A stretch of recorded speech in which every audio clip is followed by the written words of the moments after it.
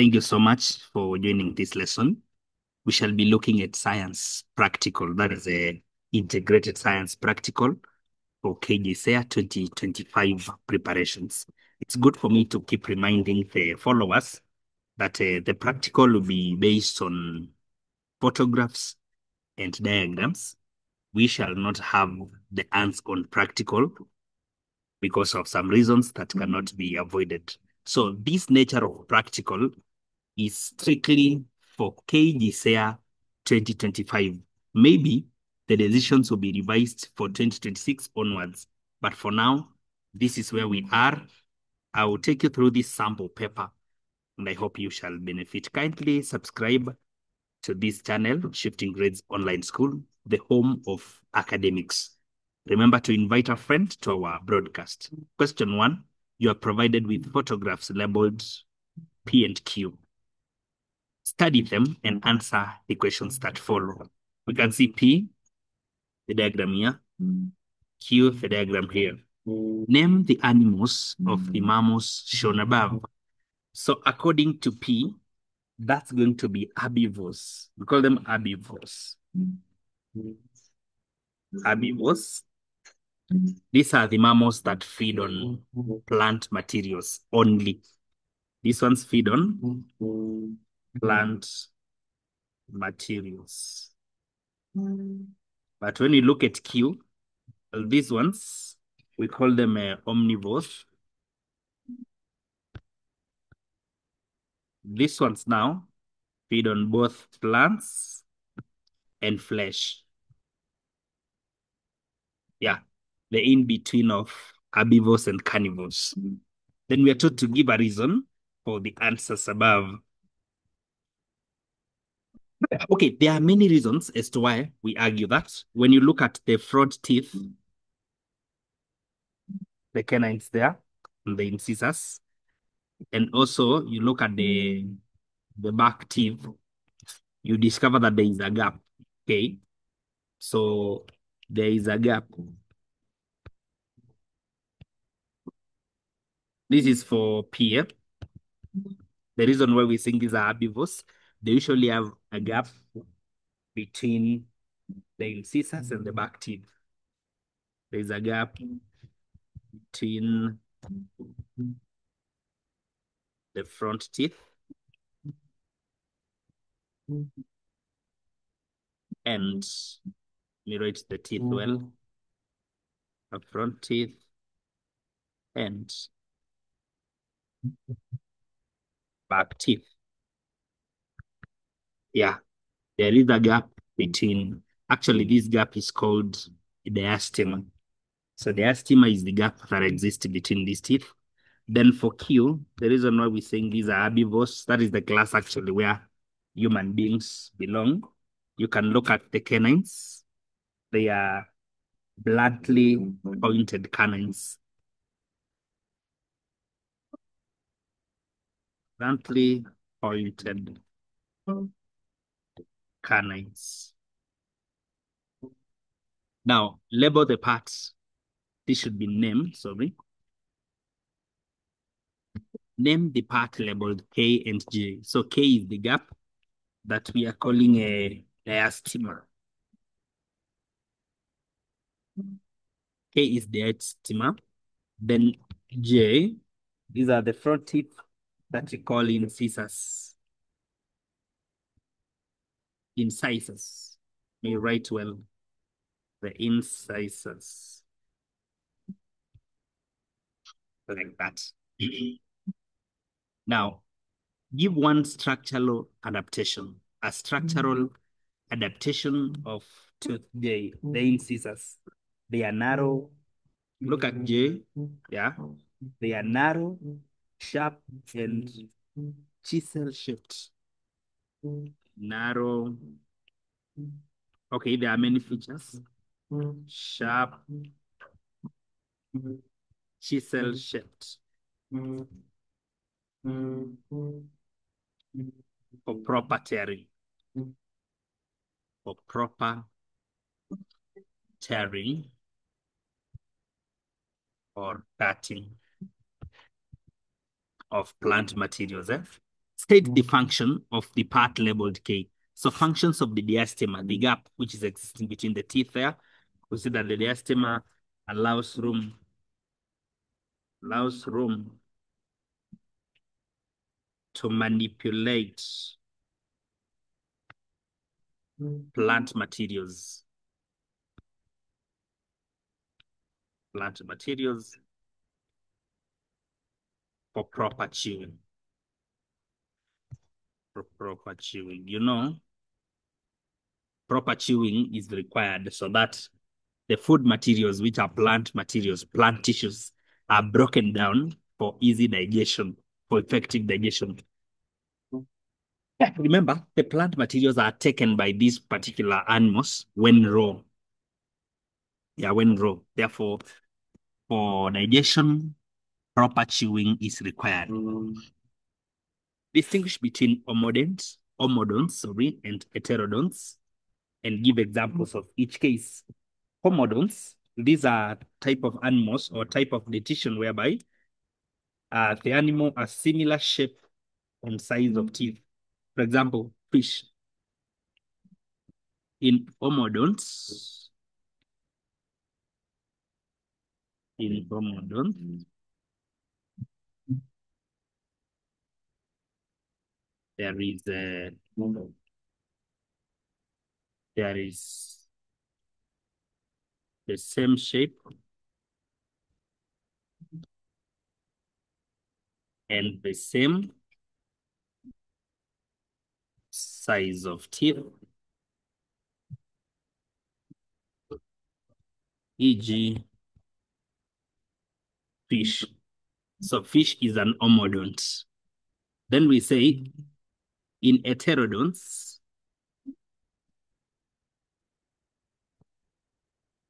in heterodonts,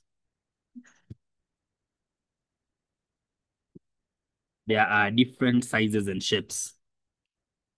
There are different sizes and shapes mm-hmm. Of teeth. For example, all mammals. Whereby now we shall be classifying carnivores, omnivores, and what you call uh, carnivores, omnivores, herbivores, like that. So they are all heterodonts. Remember, in this particular type of settings, mm. whereby we expect structured questions with mm. diagrams and photographs, we expect the three mm. branches of science to feature. For example, here we are dealing with living things, and we can say that number one, question number one, is from biology. Yeah, that's from biology, whereby we deal with living things, plants, and animals. In question two now, you can see we are studying a certain image here. Name the apparatus. When you look at this apparatus, you discover that it's uh, this is a Bunsen burner. It's a Bunsen, a Bunsen burner. Then it has some some parts, whereby part A, this one is the flame itself. That's the flame. Then we have a part B here, which is the chimney. That's the chimney. Mm. Then we have part C here. Part C is called the collar. Then we have part D, which is the gas mm. inlet. Mm. The gas inlet. So we have uh, those parts. Uh-huh. Look at part B of the same. Name other two apparatus that can be used as a source of heat in the laboratory. Apart from the and burner, we can use candles. We can use the spirit lamps.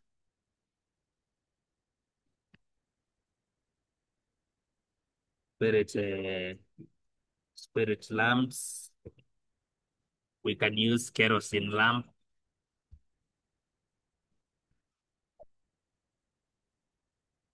We can also use spirit lamps, oh, spirit lamps, kerosene lamps, portable burners. Can use portable burner, any tube,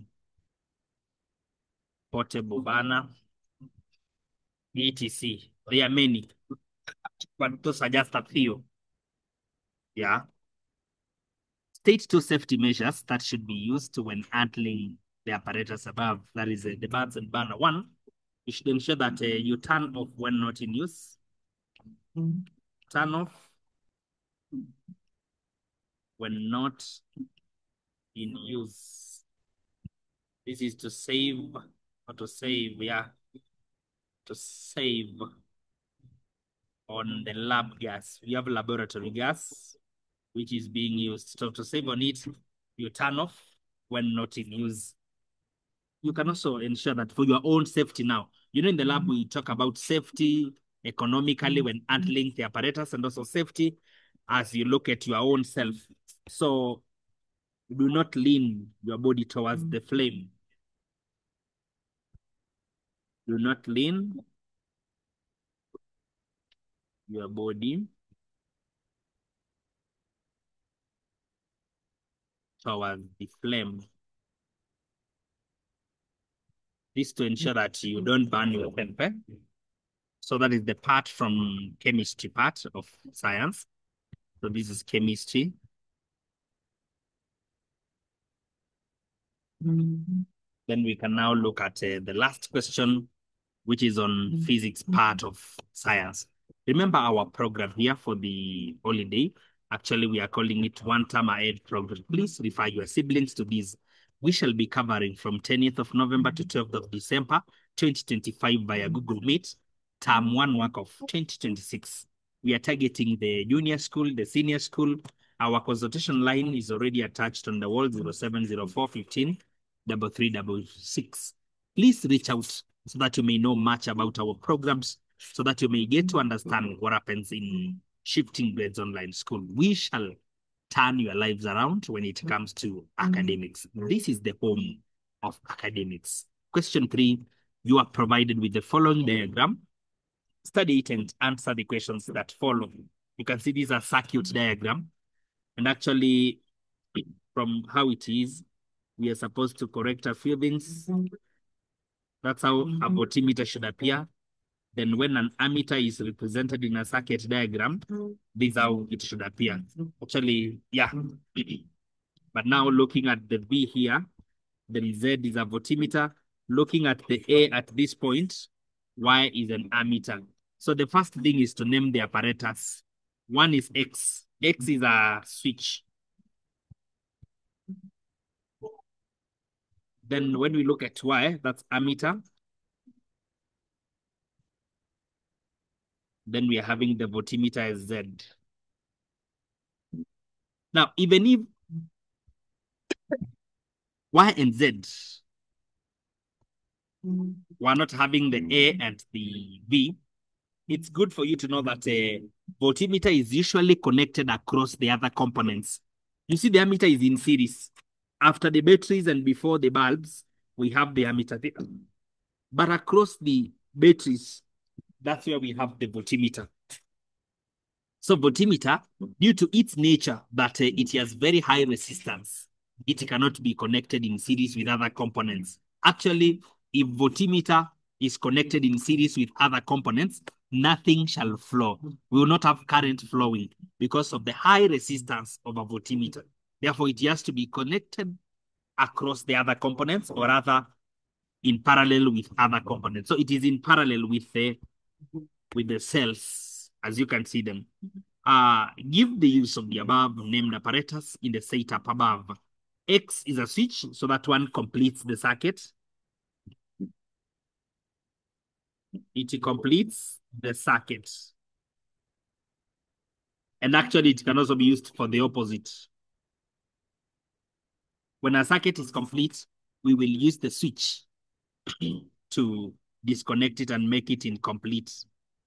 Y, which is the ammeter, that one records electric current. Records or measures. Actually, it measures, not even recording. Measures electric current. It measures electric current. Then the voltmeter, that one measures potential difference.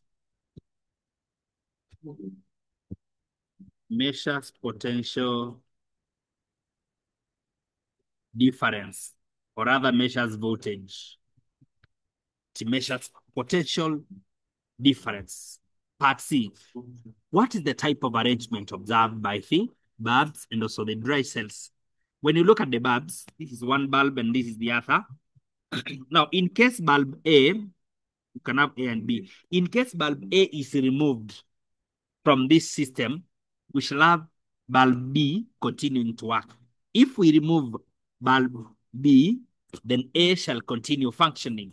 Such an arrangement whereby the removal of one bulb does not affect the other one, we call it a parallel arrangement.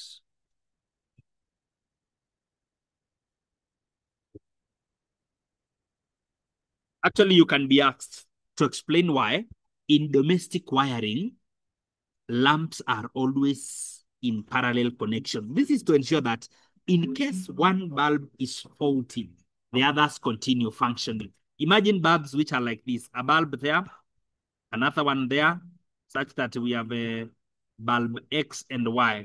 You know, in case bulb X is faulty, because it's along the same circuit, Y will also not function even if Y is good. Even if Y is in good condition, it shall not function. Therefore, the reason why bulbs are always connected in parallel is to ensure that in case one is faulty, the other one continues working. Then look at the cells. We have one here and another one here. You see, the positive of one is at the negative of the other. That's called a series connection. So they are in a series arrangement. Series arrangement. Yeah. Series arrangement. Part B. State two sources of electricity apart from the one used above, apart from the batteries. We can have solar energy. We can have wind energy. We can have geothermal power. Hmm? We can have geothermal, geothermal power. We can have hydroelectric power,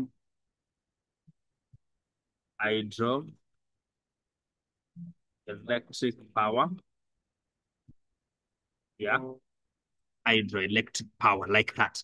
So that's how you're supposed to handle the paper. You're supposed to interact with diagrams in integrated science paper two, the KJSEA 2025. We're wishing you success. Thank you so much for following. Stay tuned and subscribe for mathematics and other tutorials. Thank you.